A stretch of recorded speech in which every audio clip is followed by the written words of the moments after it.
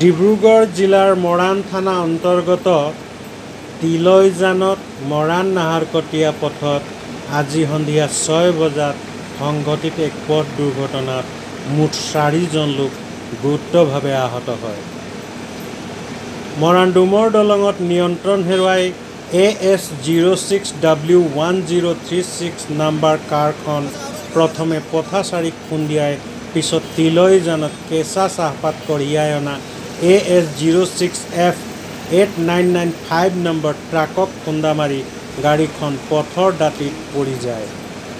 ফলত কাৰখনত উঠি যোৱা ৰাজগড় নিবাসী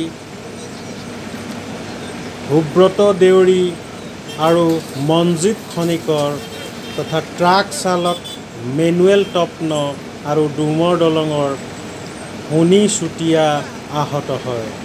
ইয়াৰে সোণী চুতীয়া সংকটজনক অৱস্থাত এ এম চি এইচলৈ প্ৰেৰণ কৰা হৈছে। মৰাণ আৰক্ষীয়ে আহত তিনিজনক মৰাণ ৰাজকীয় চিকিৎসালয়লৈ আনে যদিও পিছত এই সংকটজনক অৱস্থা দেখি চিকিৎসকে উন্নত চিকিৎসাৰ বাবে ডিব্ৰুগড় এ এম চি এইচলৈ প্ৰেৰণ কৰে।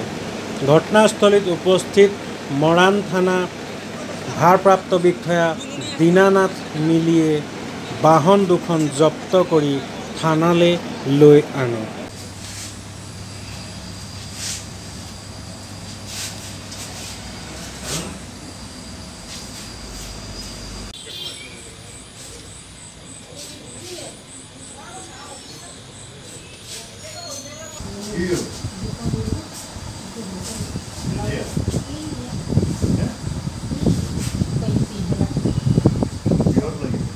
আছিলে। ক'লৈ গৈ আছিলে?